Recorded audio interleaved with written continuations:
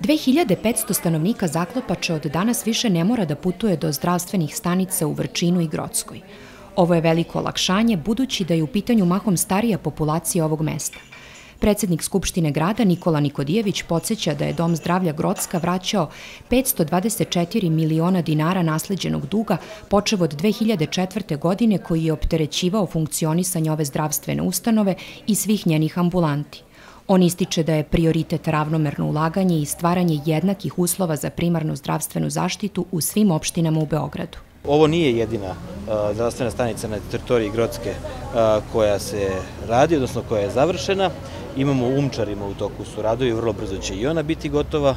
U toku su radovi i u zdravstvenoj stanici i Vrčinu, kada je u pitanju opština Grocka, tako da mislim da ćemo uspeti da poboljšamo kvalitet zdravstva na teritoriji opštine Grocka. Nikodijević najavljuje da je u toku izrada projekta Centra za hemodijalizu na opštini Grocka. Centar će olakšati uslove života 88 pacijenata koji dnevno pređu ukupno 2000 km do drugih zdravstvenih stanica kako bi primili terapiju. Ovo će financijski rasteretiti i sam Dom zdravlja Grocka koji ove ljude svakodnevno transportuje.